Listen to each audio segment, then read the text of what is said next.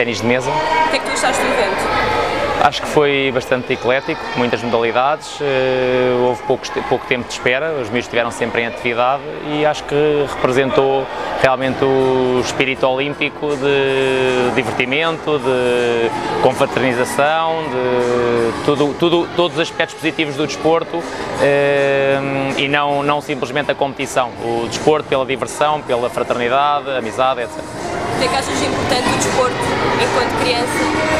é fundamental na integração da, das crianças, é, é, uma forma de socializarem umas com as outras, é uma forma de, de, também aprenderem a gerir conflitos umas com as outras, porque ao praticarem desporto acaba por sempre haver alguns conflitos nas regras, etc. É uma forma de aprenderem a gerir esses conflitos eh, e a competição também depois, já falando da competição, traz também a capacidade de gerir situações de stress que depois vão acabar por acontecer ao longo da vida.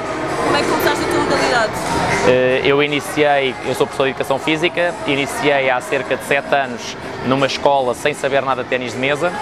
Eh, comecei, juntei as mesas da sala, fiz umas redes, eh, inventei umas raquetes, cortei umas madeiras, começámos a, a jogar, convidaram-nos para começarmos no clube e então desde há 7 anos, pronto, já neste momento já frequento seleções nacionais, já temos, temos agora uma atleta nossa que começou comigo no, no terceiro ou na segunda classe, neste momento está, está a jogar em Espanha, em Barcelona, este ano esteve na República Checa, em França, Itália.